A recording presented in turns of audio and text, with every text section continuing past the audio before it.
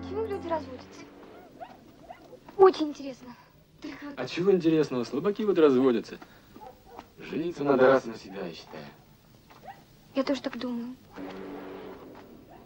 Ты? Чудачи. А в субботу в клубе кино хорошее пойдем? Можно. Ты любишь меня? Конечно. Правда?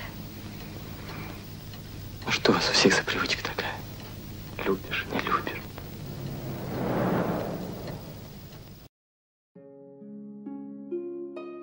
Сергей Иванович Варчук знаком зрителям по замечательной мелодраме «Не могу сказать прощай». Примечательно, что эта картина, ставшая визиткой актера, оказалась студенческой работой молодого человека. Потом пришли другие роли, но это так и осталось звездной и главной. Биография Сергея Варчука тесно связана с его родным городом Свердловском. Здесь он родился в апреле 1956 года. Тут, в промышленном городе, где и близко не было моря или океана, он начал мечтать о далеких морских странствиях и кораблях. После окончания общеобразовательной школы уральский парень отправился в Ленинград. Здесь он планировал поступить в высшее инженерное морское училище имени адмирала Макарова. Но не сложилось, подвело зрение. Тогда Сергей решил, что раз он не сможет стать капитаном корабля, то мог бы эти корабли строить, а потом испытывать, выходя на морские просторы. Но и здесь была неудача. В Ленинградском кораблестроительном вузе он провалил экзамен по физике. В расстроенных чувствах Борчук вернулся в родной город. Он подал документы в местный университет на физфак. Учился там год, без желания огонька. Но под конец года ориентиры Сергея сбились окончательно. Парень попал на дипломный спектакль сестры, которая училась в Свердловском театральном училище, и вдруг понял, что сцена – это то, что ему нужно. Сдав сессию, Сергей Ворчук отправился отдавать долг стране. Молодого человека призвали в войска военно-воздушных сил. Этот перерыв ему оказался нужен для того, чтобы окончательно разобраться в себе и определиться, куда же его тянет больше всего. После армейской службы Сергей уже знал, какой дорогой он пойдет. Он бросил университет и отправился в Москву. Так как никакой подготовки у него не было, то поступить в театральный вуз с первой попытки не удалось. Но сходить с выбранного пути Ворчук не собирался. В конце концов, он поступил в школу-студию МХАТ и оказался зачислен на курс к талантливому артисту и наставнику Олегу Ефремову. Сергею и однокурсникам парня завидовали. На ребят смотрели как на уже состоявшихся артистов МХАТа, которым в то время руководил Ефремов, но для наставника студентов это было непростое время. Театр раздирали противоречия, и шло разделение. Олег Ефремов приходил к студентам уставший. Здесь он отдыхал душой и строил планы. Ефремов мечтал, что вместе со своими артистами организует новый молодежный театр. К сожалению, этим планам не суждено было воплотиться в жизнь, и после четырех лет учебы сокурсники Сергея Ворчука, да и он сам, оказались перед перспективой быть отправленными в глубинку. Между третьим и четвертым курсами театрального вуза Сергею несказанно повезло. Он снялся в мелодраме Бориса Дурова «Не могу сказать прощай». Зачем ты так? Сереж, мы каждую копейку считаем. А не то Ольке куклу, то Кольке самокат. Ну так дети же. Обеспечься, а потом заводи, я так считаю. Считай. А дружбу не ломай. Понятно? Молодому актеру досталась роль Сергея Ватагина, парня из-за несчастного случая на лесоповале, ставшего калекой. Спортивный юноша оказался прикован к инвалидному креслу и потерял вкус к жизни. Партнершей по площадке Ворчука стала актриса Анастасия Иванова. Сам артист позже поделился, что во время подготовки к съемкам много общался с врачами, работающими с парализованными пациентами. Молодой человек месяц провел в Институте костно-спиной травматологии. Как раз к окончанию школы студии МХАТ фильм вышел на экраны и превратил вчерашнего студента в узнаваемого актера. Начинающий артист пребывал в эйфории. Сергею казалось, что его оторвут с руками в любом столичном театре, в который он придет. Однако реальность оказалась иной. Столичных театров в начале 80-х годов было гораздо меньше, чем теперь. Да и время оказалось непростым. В театрах Москвы полным ходом шло сокращение штатов. На пенсию отправляли известных артистов, чьи имена знала вся страна. А уже о том, чтобы устроиться молодому актеру, и речи не шло. Чтобы остаться в столице, требовалась прописка. Ворчука спасло то, что Олег Ефремов сумел добиться, чтобы дипломный спектакль его курса ввели в репертуар МХАТа. Постановка шла 4 раза в месяц и приносила Сергею 16 рублей дохода. Прожить на такие деньги в столице не представлялось возможным, но это давало право жить в Москве. Основной статьей дохода молодого артиста было кино. После мелодрамы Дурова Сергея Ворчука знали и приглашали сниматься. В 1984 году он появился в картинах «Благие намерения», «Как стать знаменитым» и «Ускорение». Наденька, интересно. Наденька, во-первых, я получил премию за очерк про вашу школу. Поздравляю. Спасибо. А во-вторых, пойдемте куда-нибудь? Нет, это невозможно.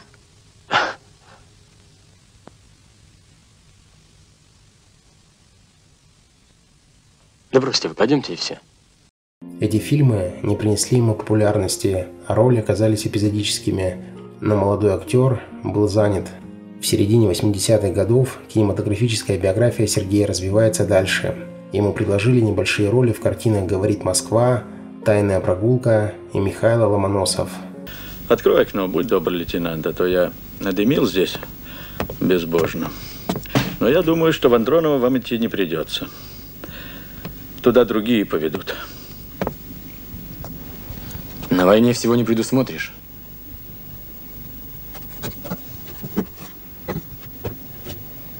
В этом случае, лейтенант, мы с тобой должны предусмотреть все.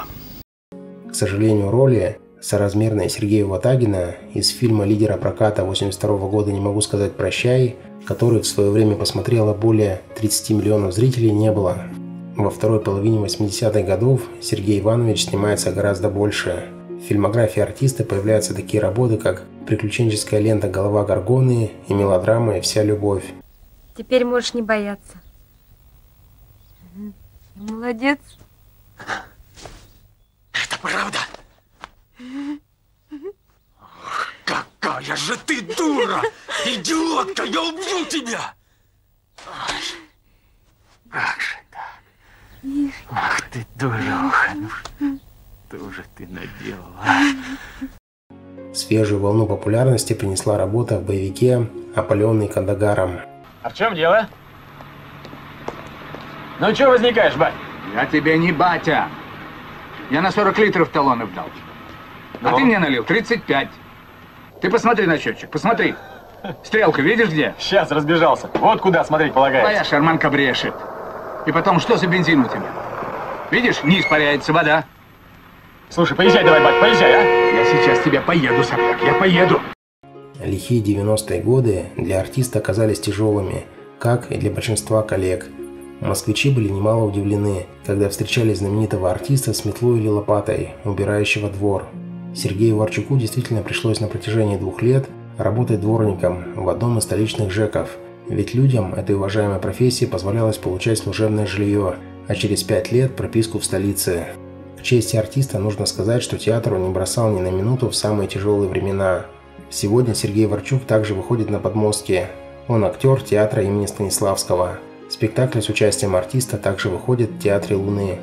Позже в интервью Сергей рассказывал, что со своим Жеком он дружит до сих пор.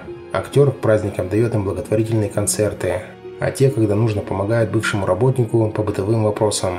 Также Ворчук подрабатывал частным извозом. Там мужчину узнавали очень часто, но артист отнекивался и говорил, что просто похож на знаменитого актера. Темная полоса невостребованности в кино прошла с началом 21 века. Зрители увидели любимого актера в исторической драме «Русский бунт», снятой по повести Пушкина «Капитанская дочка». Ему досталась хоть и небольшая, но яркая роль лихого кавалериста Зурина. Также зрители запомнили Сергея Ворчука по работе в качестве ведущего. Длительное время он вел передачу «Служба спасения» и был ведущим проекта «Дорожный патруль. Расследование». Личная жизнь. Личная жизнь Сергея Ворчука сложилась счастливо, но так было не всегда. Первый брак актера окончился разводом.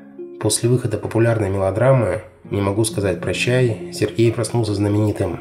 Но главным для него было то внимание, которое на него наконец обратила красавица по имени Елена. До этого девушка, которой Сергей оказывал знаки внимания, даже не смотрела в сторону артиста. Елена вышла за него замуж и родила дочь, но настоящей любви у этой пары, скорее всего, не было. Вскоре супруга уехала в США, где нашла работу, а муж остался вдвоем с дочкой. Елена приезжала домой все реже, и в итоге брак изжил себя. Когда актеру уже было за 40 лет, он встретил нынешнюю супругу Ольгу. Но в жизни Сергея Ворчука огромную роль сыграл режиссер Борис Дуров. Он и открыл зрителям этого артиста, сняв Сергея в главной роли в своем замечательном фильме. И он же подарил встречу с любовью всей жизни – Ольгой. Ольга сумела найти взаимопонимание не только со взрослой дочерью Сергея, но и даже с бывшей женой артиста. В браке у Сергея и Ольги родился сын Иван. В настоящее время Сергей Ворчук – счастливый муж и отец двоих детей. Он любим российскими зрителями, его часто узнают на улице. И хотя последний фильм с участием артиста вышел в 2019 году, актер продолжает блистать на театральной сцене. Сергей Ворчук занят в главной роли в спектакле «Поминальная молитва», Сейчас актеру 64 года. Друзья, ставьте лайк и подписывайтесь на наш канал. Впереди много интересного.